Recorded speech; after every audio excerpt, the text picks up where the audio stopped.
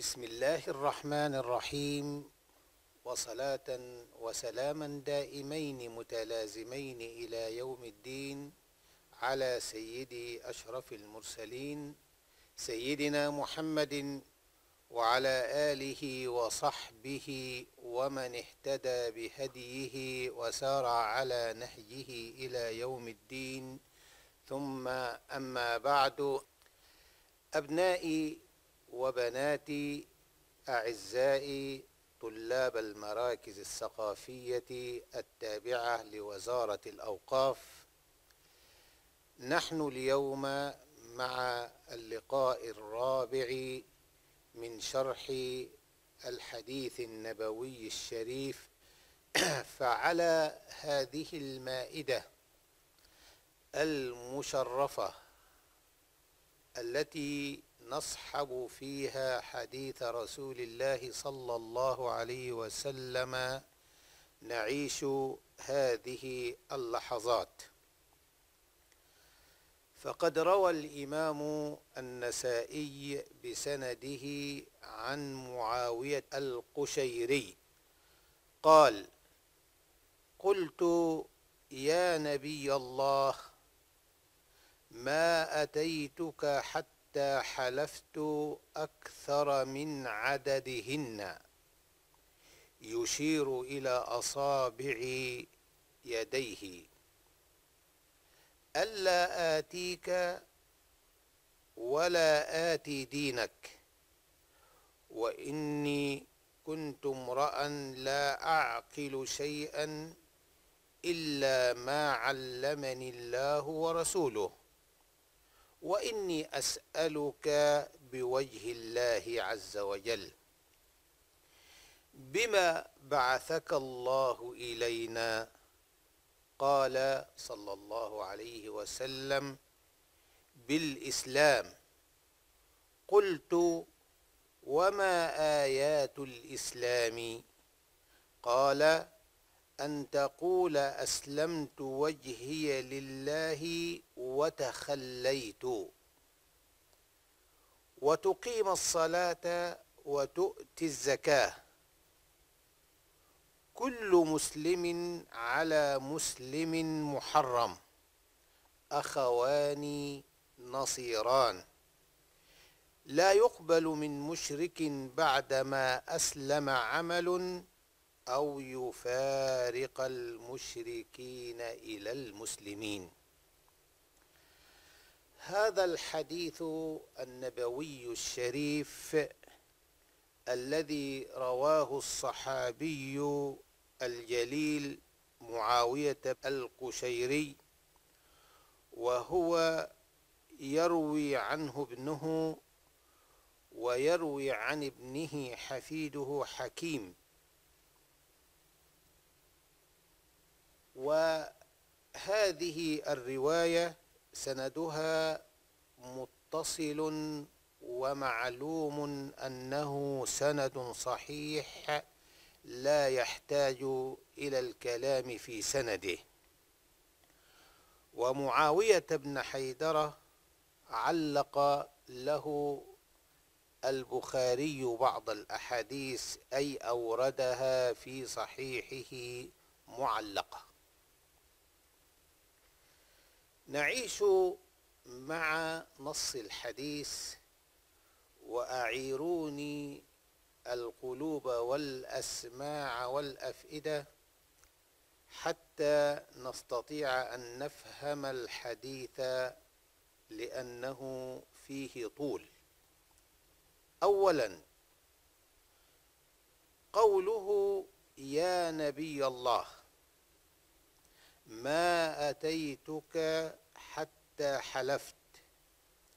وهذا كناية واضحة عن عدم إقباله على الإسلام. بل فيه كناية عن موقفه العدائي للنبي صلى الله عليه وسلم وعدم حبه للنبي صلى الله عليه وسلم. وهذا أمر قد تكرر قبل ذلك.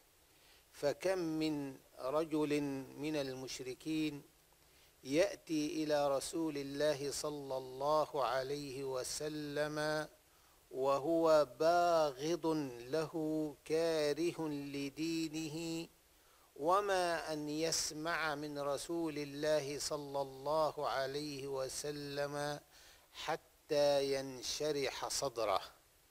فقبل ذلك حدث مثل هذا مع ثمامة سيد أهل أهل اليمامة.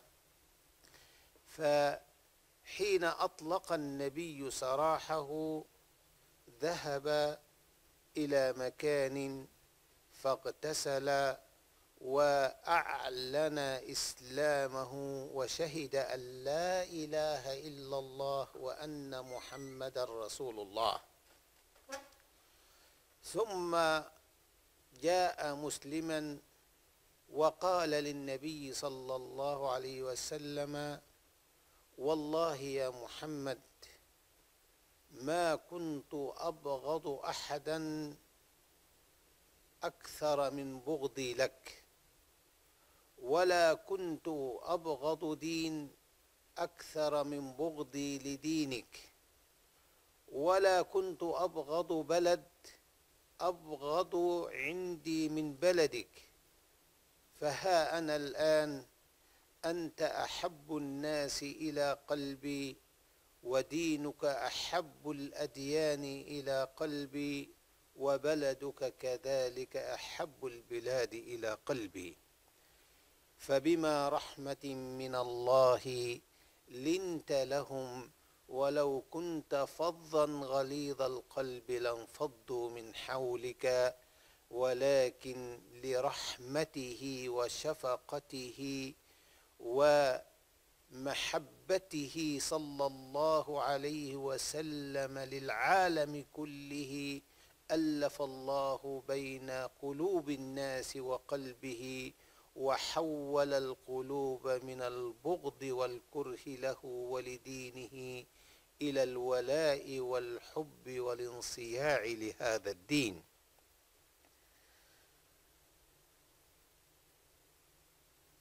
ثم يقول وإني كنت امرا لا أعقل أي لا أعقل شيئا من أمور الدين.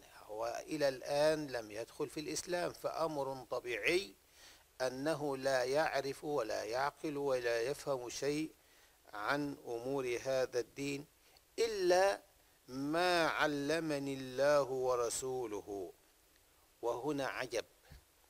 ما علمني الله ورسوله هو لم يتعلم شيء وما قال له النبي شيء وما فهمه أو علمه النبي شيء فكيف يقول إلا ما علمني؟ هذا باعتبار ما سيكون في المستقبل بعد سؤاله. لماذا؟ لأنه يعلم يقينا أن محمدا لا يكتم علما ولا يظن بعلم وأنه هو المعلم وسيعلمه حين يسأل وهو جاء للسؤال فيعلم يقينا أنه ما دام سيسأل سيجاب وما دام سيجاب سيجاب بعلم وهذا العلم من النبي. والنبي هو المبلغ عن الله تبارك وتعالى إذا فهو عن الله وعن النبي صلى الله عليه وسلم. لسائل أن يسأل أبنائي وأحبائي كان الأمر الطبيعي أن يقول ما سأتعلمه ما سأتعلمه ولكن قال ما علمني بالماضي وهذا أمر معروف في لغة العرب فإنه يعبر بالماضي حين يكون متحققا متاكدا من تحقق الوقوع فكأنه لما علم ولما أيقن أنه سيتعلم من رسول الله لأنه سيجيبه بما سأل عبر بالماضي لأنه أمر متحقق لا مجال فيه ولا خلاف فيه. ثم قال وإني أسألك بوجه الله بما بعثك الله إلينا؟ بما بعثك الله إلينا. أما ما فهي استفهامية والاستفهام هنا حقيقي. فعلا هو يريد أن يستفهم عن هذا الدين. أما قوله بوجه الله أي أنا أسألك بذات الله وبصفات الله من القدرة والعلم والإرادة وكل الصفات الواجبة لله تبارك وتعالى. ولكن هنا مسألة نطرحها طرحا سريعا عليكم أبنائي وهي ورد في بعض الأحاديث عند الإمام أبي داود لا يسأل بوجه الله إلا الجنة. بمعنى أي حين تسأل بوجه الله لا تسأل بوجه الله أمرا دنيويا حقيرا وإنما تسأل بوجه الله ما يليق مع ذات الله ومع صفات الله فيسأل به الجنة لا الأمور الدنيوية. وهو الآن يسأل عن أمور دنيوية. وأقول للإجابة على هذا السؤال أقول أولا هو حين سأل بوجه الله سأل عن علم الدين. وعلم الدين حينما يتعلمه فإنه الطريق إلى الآخرة. فلا إشكال في هذا. لم يسأل عن شيء حقير وإنما سأل عن شيء هو من صميم الدين وإذا نفذه وطبقه سيكون هو المآل له والطريق له إلى الجنة فكأنه سأل بوجه الله الجنة فلا إشكال. الأمر الأول أننا حين بحثنا في سند هذا الحديث عند أبي داود فوجدنا أن الحديث فيه ضعف. فيه ضعف. وما دام فيه ضعف فلا يواجه هذا الحديث المتفق على صحته. الأمر الثالث أبنائي ورد في مسند الإمام أحمد بن حنبل وأبي داود والنسائي أيضا أنه قال من استعاذكم بالله فأعيذوه ومن سألكم بالله فأعطوه ومن دعاكم فأجيبوه ومن صنع إليكم معروفا فكافئوه فإن لم تجدوا ما تكافئونه به فادعوا الله له حتى تظنوا أنكم قد كافأتموه. والشاهد من الحديث الذي ذكرته لكم الآن أن هنا السؤال بالله بوجه الله وكل ما ورد في السؤال أمور دنيوية. نعم من مكارم الأخلاق نعم آه، لها علاقة بالدين إنما في النهاية هي أمور دنيوية وثبت أننا سألناها بوجه الله سألناها بذات الله تبارك وتعالى آه، من سألكم بالله فأعطوه. ولذلك نقول يا أبنائي لا إشكال في أنه سأل بوجه الله ولا تعارض في هذا الأمر. أقول بعد ذلك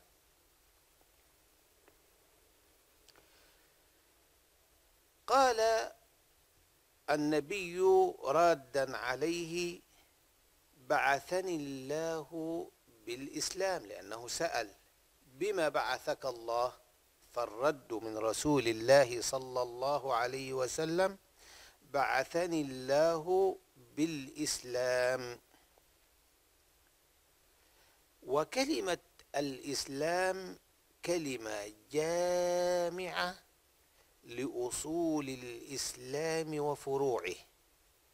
أصول الإسلام العقدية وفروعه التي تنتج عن هذه العقيدة وبما فيها من صلاة وصيام وحج وكل ما يتعلق بالإسلام يدخل معنا في هذا في هذا الجواب الكامل الشامل.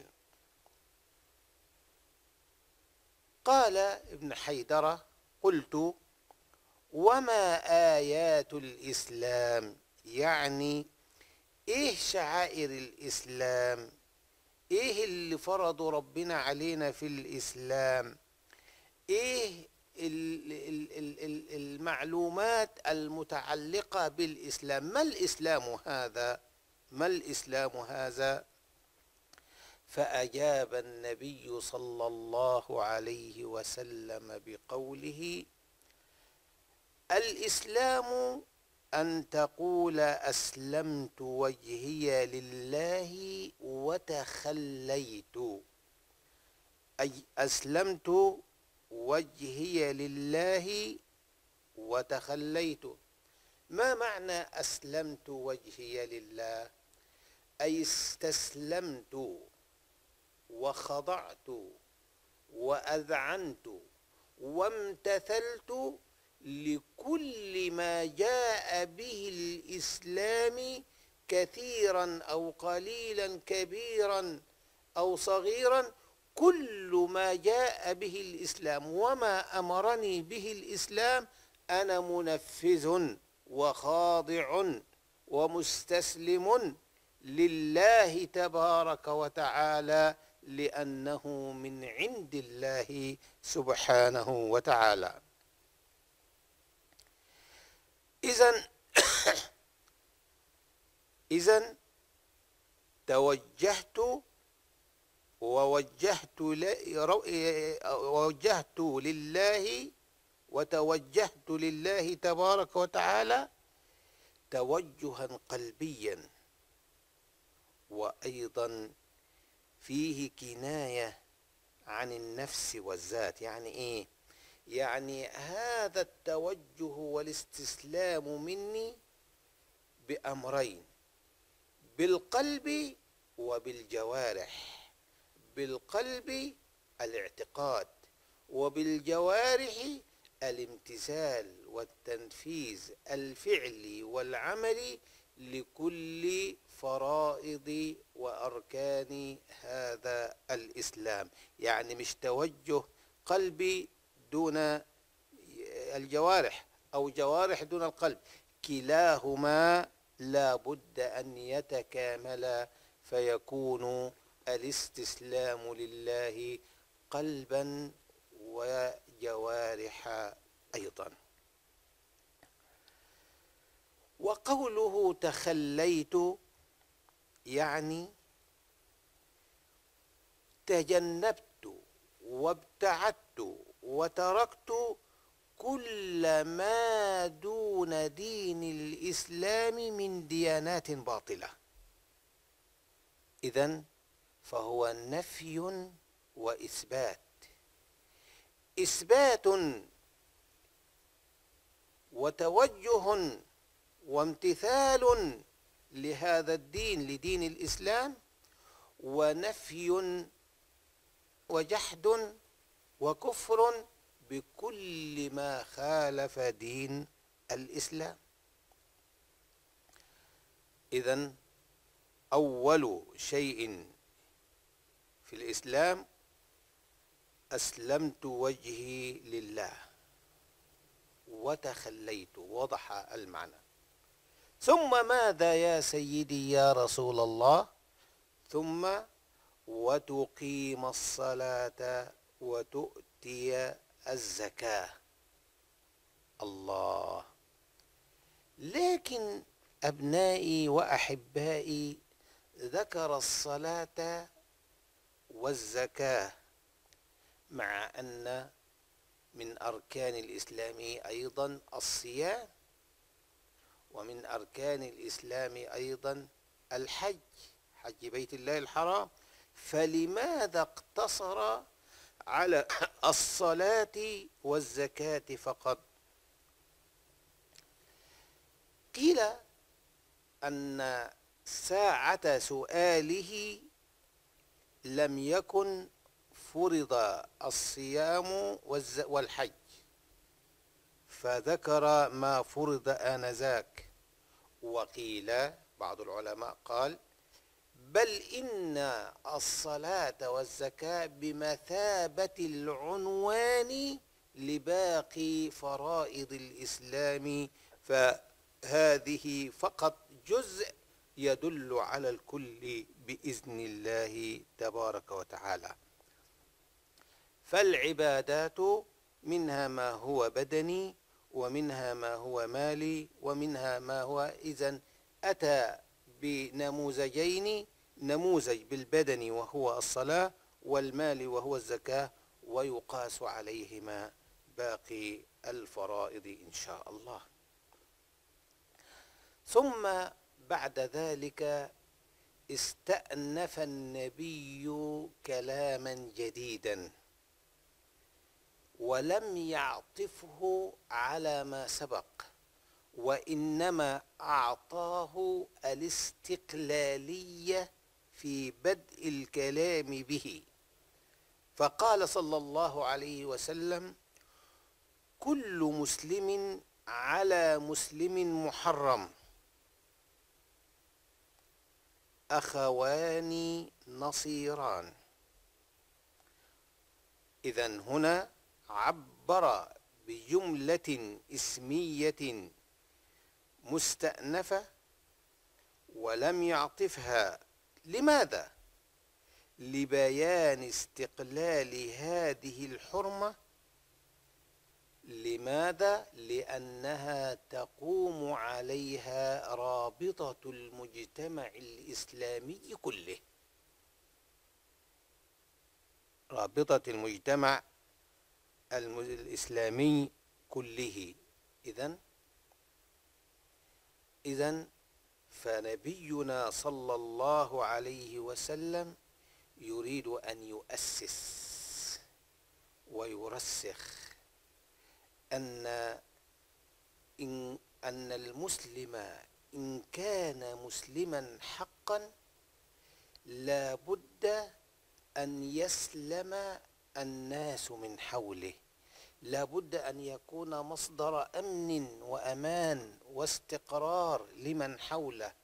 لا بد أن يكون نافعا غير مؤذن لمن حوله. لا بد أن يكون نافعا حتى للحيوانات والجمادات والنباتات. كل من حوله يكون في سلم وسلام ولذلك يقول النبي صلى الله عليه وسلم المسلم من سلم المسلمون من لسانه ويده وليس الأمر قاصرا على أن يسلم المسلمون فقط ولكن كما جاء في رواية أخرى للحديث المسلم من سلم الناس الناس جميعا من لسانه ويده. اذا أبنائي وأحبائي جانبان لا بد أن يتوفران في المسلم. جانب إيجابي وجانب سلبي. قدم الجانب السلبي لأن التخلية قبل التحلية. أن يسلم الناس من أي أذى لأنه محرم هذا هو الجانب السلبي وذكرت لكم الحديث الذي يدل عليه. طب امال إيه الجانب الإيجابي؟ الجانب الإيجابي عبر عنه بقوله أخوان نصيران أي متناصران. أي متحابان أي متعاطفان متودان متكاملان.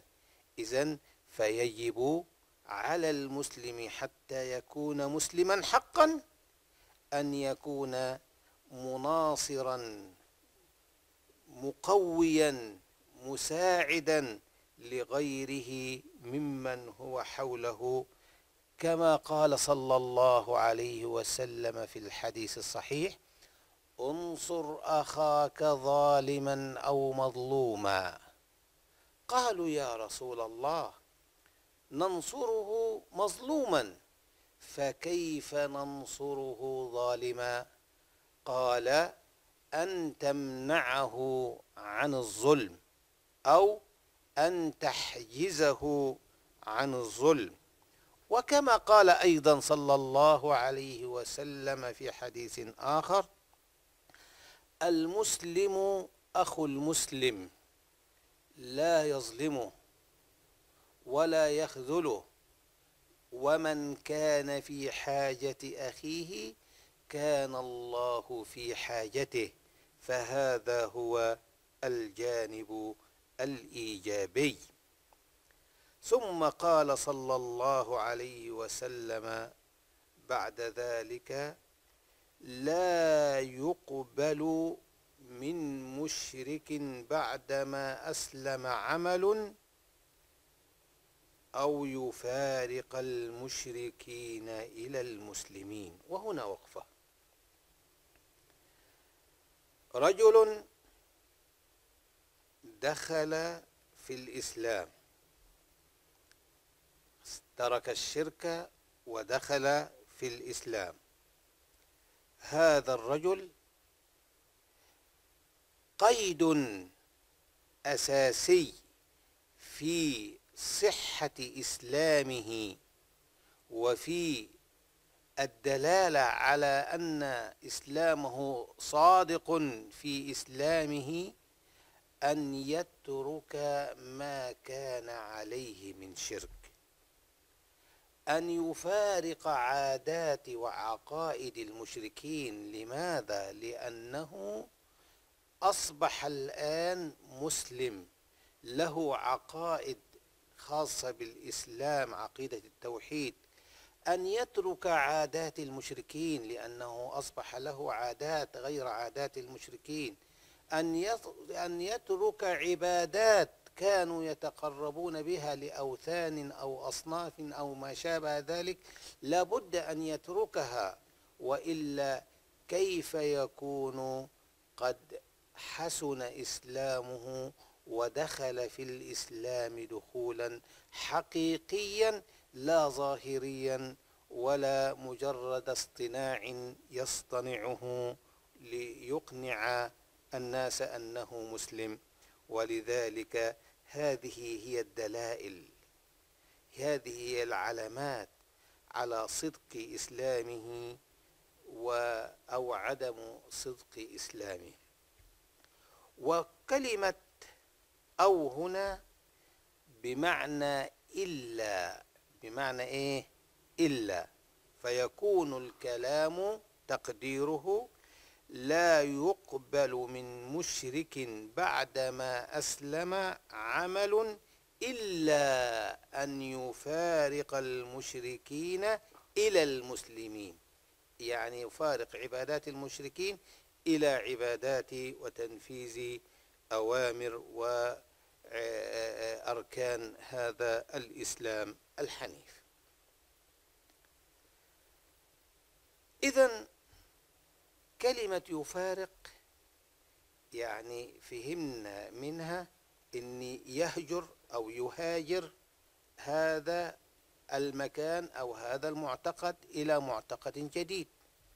وهنا يجرنا الكلام إلى مسألة في غاية الأهمية. ما حكم الهجرة؟ وهل الهجرة باقية؟ وهل نهاجر من بلد فتحها المسلمون؟ وللإجابة أقول أولا ما حكم الهجرة؟ الهجرة أبنائي من دار الكفر إلى دار الإسلام واجبة.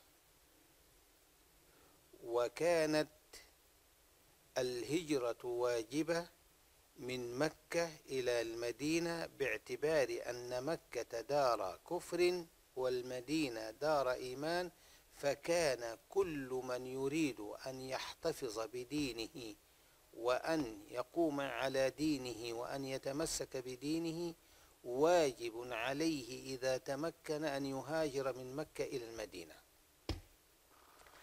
بعد بعد أن فتحت مكة وصارت أيضا بلد إيمان وبلد آه، توحيد ليست دار كفر بل هي دار إيمان زيها زي المدينة أصبحت الهجرة المكانية ليست واجبة. الاثنين بلد بلد إيه؟ إيمان بلد إسلام بلد دين. واحد. ومن هنا قال النبي صلى الله عليه وسلم في الحديث الصحيح لا هجرة بعد الفتح. لا هجرة بعد الفتح. طيب هب أن الأمر بالقياس حدث أن الإنسان في بلد هذه البلد تجبره على الكفر يهاجر أم لا يهاجر؟ أصبح بالقياس كأنها مثل مكة والبلد المؤمنة التي يذهب إليها مثل المدينة. هذا بالقياس. لكن هناك هجرة لا تنقطع ولن تنقطع. الله الهجرة دي مكانية بدنية ولا معنوية؟ قال لك لا دي هجرة معنوية. يعني إيه؟ قال لك والمهاجر من هجر الله من هجر ما نهى الله عنه. والمهاجر من هجر ما نهى الله عنه. هجرة الذنوب هجرة الآثام هجرة الموبقات هجرة السوء هجرة الشر هذه باقية إلى يوم القيامة ولكنها هجرة معنوية. طيب الفقرة الثالثة في السؤال الذي طرحنا الذي طرحناه عليكم أبنائي آه، إذا فتح المسلمون بلد إذا فتح المسلمون بلد وصارت دولة إسلامية وأنا فيها هل أهاجر منها؟ الجواب ما دمت أنا آه، يعني آه، أعيش فيها ولي مكان فيها ولي مسكن فيها فلا أهاجر منها. لماذا لا أهاجر منها؟ حتى أكثر سواد المسلمين وحتى آه، يعني أقيم فيها الفرائض والسنن. وكل طقوس الإسلام الحنيف أقيم فيها فلماذا أهاجر منها؟ بل بالعكس وجودي فيها حيكون فيه مصلحة وهو الأفضل لا شك. تمام كده؟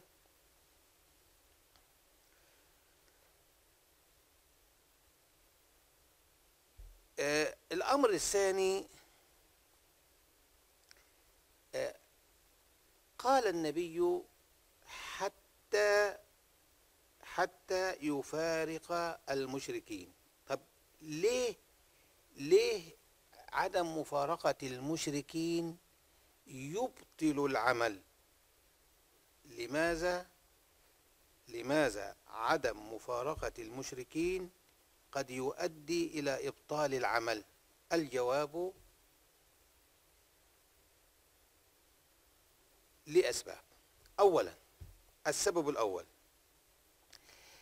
إذا سكن بين المشركين وخالط المشركين وكان هو قبل ذلك مشرك وكان هو قبل ذلك مشرك وخالطهم في عاداتهم وفي عبادتهم وهو قادر على أن يفارقهم هذا يعطي انطباعا ويعطي دلالة واضحة على أنه مقتنع بهم وبعقائدهم ومتبع لهم فهذا إسلامه إسلام زيف ونفاق. فأول حاجة إذا كان جلس مع المشركين وهو مقتنع وبيشاركهم في العادات وبيشاركهم في عباداتهم وبيعبد اللي هم بيعبدوه وادعى أنه مسلم هذا إسلام مزيف. هذا إسلام مزيف. فالدليل على أنه غير مزيف يفارقهم حتى نعلم أنه فعلا يعني إيه كره عبادة الأوثان كره عبادة الأصنام كره كذا وهكذا. الأمر الثاني هو حين يخالطهم أي الكفار في كل شيء قد يجره ذلك إلى الكفر. ليه؟ لأنه بيكتسب من أخلاقهم ومن معتقدهم فيخشى عليه أن يماثلهم فيكون مثلهم. يبقى في الحالة دي الحالة الثانية الأولية هو مقتنع بيهم وبيشاركهم قال لك الحالة الأولى دي الحالة الثانية لا هو مش مقتنع بيهم وبيشاركهم لكن كثرة المكوس والجلوس معهم والتشرب بعاداتهم والتشرب بعباداتهم وحتى لو كان يشاركهم على سبيل المجاملة في البداية هذا ربما ربما يجره إلى القناعة بهم وإلى المماثلة لهم فإن قنع بهم وماثلهم فهذا لا شك أنه جره للكفر مرة ثانية فبعد أن أسلم حتى وإن اقتنع بالإسلام عاد لمشاركته ومماثلته وأخذه من عاداتهم ومعتقداتهم. إذا في هذه الحالة نقول يا من وقر الإسلام والإيمان في قلبك ونضح على جوارحك بالامتثال وبآداء كافة العبادات. صن هذه النعمة واحفظها وابتعد عما يؤثر عليها وعما يخرجك من هذه النعمة ولا شك أن من شارك ومن اقتنع ومن ماثل قوما صار منهم بل وحشر معهم. فكما قال نبينا صلى الله عليه وسلم المرء يحشر مع من أحب. المرء يحشر مع من أحب. فيا مسلم ماذا تريد؟ أتريد أن تحشر مع المؤمنين مع الموحدين مع المسلمين؟ أم تريد أن تحشر مع غيرهم؟ فانظر في الأمر ولا ولا تتكئ أو تتكل بأمور دنيوية وكن مع المسلمين. الأمر الأخير الذي أوجهه إلى أبنائي في نهاية شرحي لهذا الحديث هو يعني تحذير من التبعية الكاملة للكفار فيما يخالف الدين والأخلاق والغيرة على العرض. نعم لابد يا مسلم يا مسلمة أن تكون لك هوية ولك شخصية كما قال سيدنا رسول الله صلى الله عليه وسلم لا يكن أحدكم إن معه يقول أنا مع الناس إن أحسن الناس أحسنت وإن أساءوا أسأت. ولكن ولكن وطنوا أنفسكم إن أحسن الناس فأحسنوا وإن أساءوا فتجنبوا إساءتهم. إذا أيها المسلم لك عادات ولك عبادات ولك زي ولك آداب ولك أخلاق ولك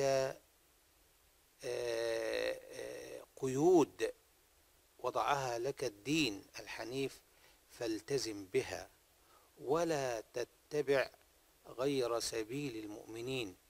نعم لهم منا الود والمحبة والمحبة لا إشكال في ذلك. ولهم منا التعامل الحسن والمسالمة والأمن والأمان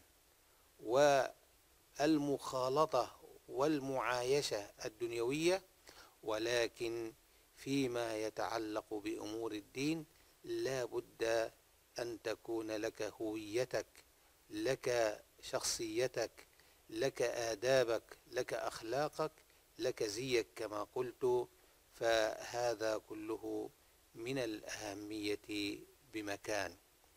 بهذا أبنائي وبناتي طلبة وطالبات المراكز الثقافية نكون قد أنهينا الشرح التحليلي لهذا الحديث النبوي الشريف الذي يمس أصول العقيدة والذي يبين لنا شرائع الإسلام والقيود التي لا بد أن يمتثلها المسلم.